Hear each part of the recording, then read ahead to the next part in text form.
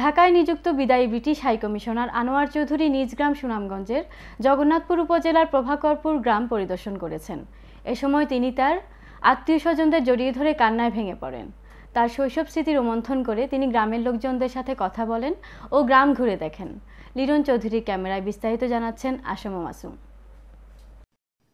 দুই হাজার চার সালের মে মাসে বাংলাদেশে ব্রিটিশ হাইকমিশনের দায়িত্ব নিয়ে এসে প্রথমেই আসতে চেয়েছিলেন নিজ জন্মভূমি প্রভাকরপুরে। কিন্তু তিনি তো আর দশজনের মতো সাধারণ নন। নানা নিয়মের বেড়াজালে বন্দী ছিলেন চার বছর। এই দীর্ঘ সময় বাংলাদেশে থাকলেও আসতে পারেননি নিজ জন্মভূমিতে। মঙ্গলবার নিজ জন্মভূমি প্রভাকরপুরে ফিরে তাই হয়ে পড়েছিলেন একান্ত আবেগতাড়িত। এজন্য গড়ির কাটা উল্টো ঘুরিয়ে দুরন্ত শৈশবে ফিরে যাওয়া। ব্রিটিশ হাইকমিশনার আনোয়ার চৌধুরীর এই সফরটা অনেকটা চুপিসারে আয়োজন করা হলেও সকাল এগারোটায় তিনি যখন প্রভাকরপুরে পৌঁছান, তখন তার গ্রামের বাড়ি ছিল লুকে লুকারণ্য। বাড়িতে ঢুকেই সবার আগে ছুটে যান উঠুন সংলগ্ন পারিবারিক গুরুস্থানে। এখানে ঘুমিয়ে আছেন তার পূর্বপুরুষেরা। তাদের কবর জারত করেন তিনি।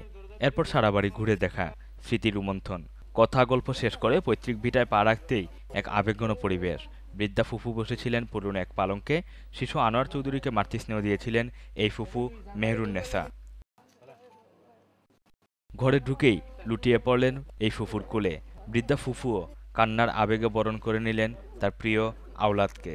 আবেগে অশ্রুসজ্জ্বল হয়ে ওঠে আওলাদেরও চোখ। নিজ বাড়ির পৈতৃক বিটায় দাঁড়িয়ে দীর্ঘ সময় স্মৃতি তর্পণ করেন ব্রিটিশ হাই কমিশনার। জানান তার ছোটবেলার নানা টুকরো টুকরো স্মৃতিকথা। অনেক জিনিস একসাথে যেমন নাকি একটা ফ্লাডের মতো ফিরে আসতেছে।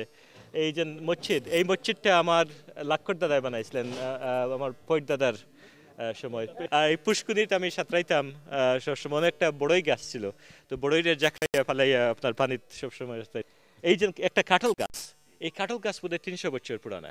তো এই কাঁঠাল গাছের নিচে আপনার কাঁঠাল ধরতো আমরা মাটি থেকে বার করতাম।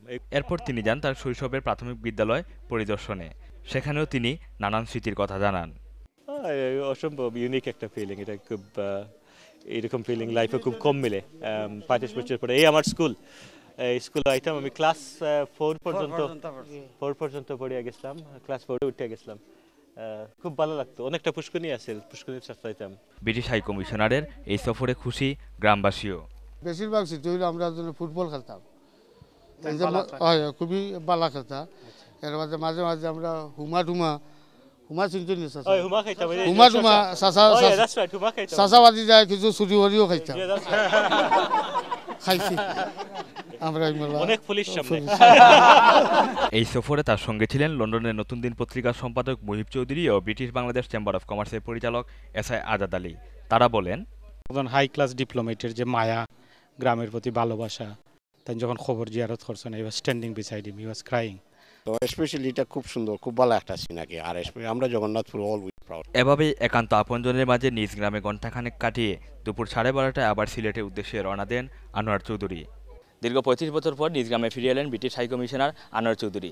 আর গ্রামে এসে পুকুরঘাট মসজিদ আম গাছ ইত্যাদি দেখে তিনি ফিরে গেছেন স্মৃতি শৈশবে। আর গ্রামের মানুষও তাকে পেয়ে আবেগে আপ্লুত। আসম মাসুম চ্যানেলের নিউজ প্রভাকরপুর জগন্নাথপুর সুনামগঞ্জ।